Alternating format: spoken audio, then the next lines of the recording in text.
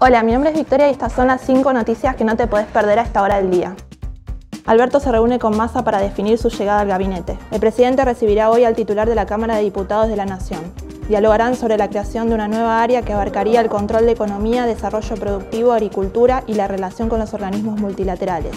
Batakis continuaría vinculada al área de Hacienda.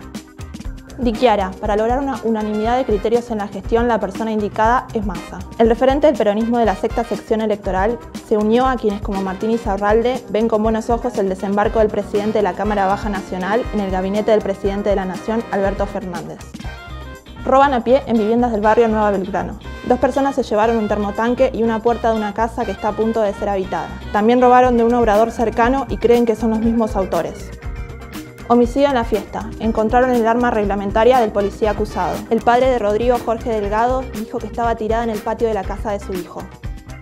La historia de un niño de Bahía Blanca en el día de su cumpleaños. La FIBA mostró a Manuel Ginóbili, quien hoy cumple 45 años, en un video desde que debutó en el Mundial de Grecia en 1998 con la selección argentina, pasando por los distintos momentos de gloria. Todas estas noticias y muchas más las puedes encontrar en la nueva.com.